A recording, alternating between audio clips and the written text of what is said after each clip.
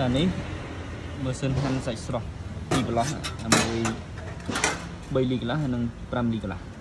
ជាងបើករ៉ូបចេញសិនបើករ៉ូបហើយដកអាពីរនេះចេញដកពីរចេញដកចេញ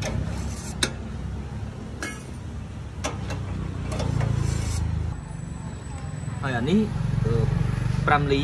តែ5លីមកដំបូងវារៀងធំរៀងជាអៀតតិចអញ្ចឹងយើងដាក់ចូលដាក់ក្នុងចូលក្នុងនេះសិនមកដាក់មកខាងក្រោយអញ្ចឹងហើយអានេះតម្រង់ចូលម្ដងមួយមួយសិនព្រោះជួនកាលយកមកដំបូងវាជាអៀតអញ្ចឹងតម្រង់ទិញម្ដងមួយម្ដងមួយចូលចូលពីខាងនេះមុនមកអានឹងបាក់តែដំបូងហើយដល់ពេលរួចវាចូលម្ដងហើយវាចូលបានស្រួលណាអូខេដាក់ចូលអញ្ចឹងហើយចាំបើកនេះ